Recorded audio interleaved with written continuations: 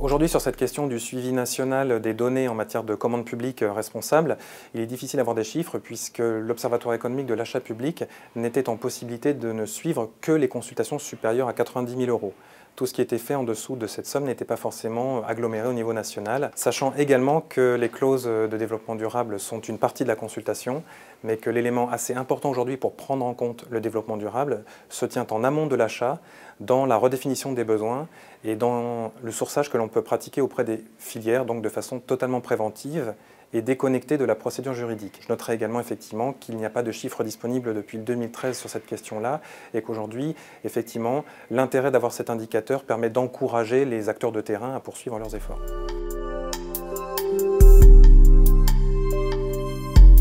Code des marchés publics proposait déjà, bien avant d'être réformé, un certain nombre d'outils juridiques tels que les critères d'attribution, les spécifications techniques, l'allotissement ou les variantes, qui étaient déconnectés du développement durable, qui aujourd'hui sont soulignés, mis en avant, fléchés comme des outils de travail sur ces questions-là. Donc ce sont des outils juridiques qui existaient,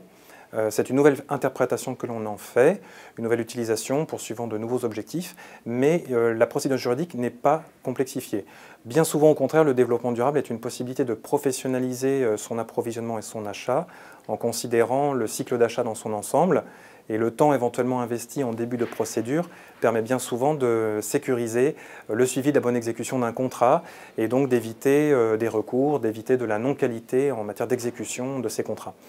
Donc aujourd'hui, je dirais qu'il y a plusieurs niveaux de travail sur la prise en compte des enjeux de RSE, de développement durable, plus ou moins complexes. Il y a aujourd'hui des produits, des familles de produits qui portent des écolabels pilotés par euh, les pouvoirs publics, qui apportent des garanties très simples et, consolidées,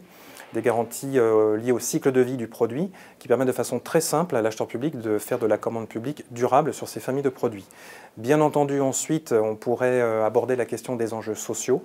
Il y a aujourd'hui euh, des possibilités de réserver des marchés, de faire de la clause insertion, euh, de réserver des marchés aux structures euh, employant des personnes en situation de handicap, qui juridiquement sont très très simples d'utilisation, très fléchées, qui ne complexifient aucunement la procédure juridique. Il y a certaines euh, approches qui sont beaucoup plus complètes. Euh, travailler sur la prise en compte du coût du cycle de vie ou de l'impact environnemental euh, global d'un produit tout au long de son cycle de vie à travers des critères d'attribution implique une connaissance du cycle de vie et donc l'identification des principaux impacts environnementaux, des principaux impacts sanitaires ou sociaux qui doivent être traduits en spécifications techniques ou en critères d'attribution. Là, on arrive dans un exercice plus complexe qui appelle de la technicité, un, retour d'expérience scientifique sur des innovations et sur des alternatives en matière de solutions de marché, l'intégration euh, à des procédures de commande publique sous forme de spécifications techniques ou de critères d'attribution,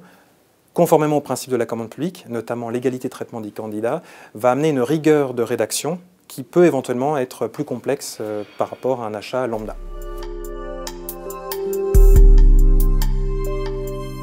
Aujourd'hui, les réseaux jouent vraiment un rôle, euh, je dirais, de, sablier entre les obligations réglementaires, qui aujourd'hui, euh, de toute façon, amènent les acheteurs publics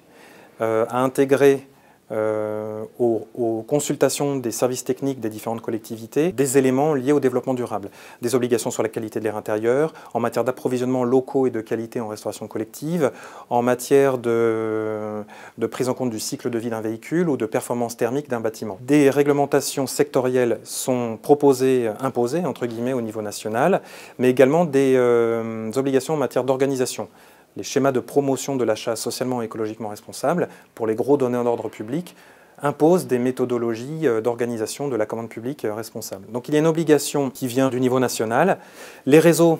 digèrent cette information, euh, la rendent opérationnelle par rapport au métier et au quotidien des agents et des acheteurs sur le terrain.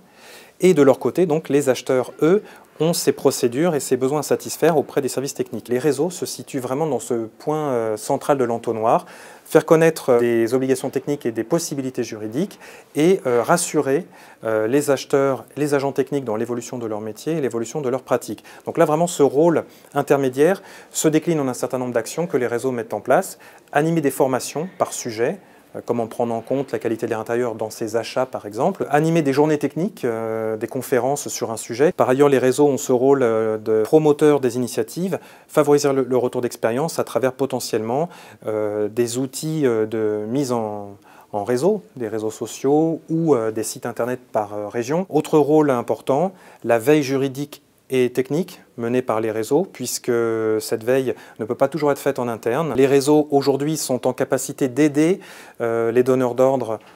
élus, agents, équipes de direction, acheteurs, équipes juridiques, à décrypter l'actualité de façon plus approfondie pour euh, réaliser un achat conforme aux obligations réglementaires. Et on voit bien à travers ces réseaux que parfois, faire de l'achat responsable ne génère pas forcément de surcoût, mais bien souvent des économies. Donc euh, ce sont des préjugés à faire tomber et c'est vraiment le rôle stratégique des réseaux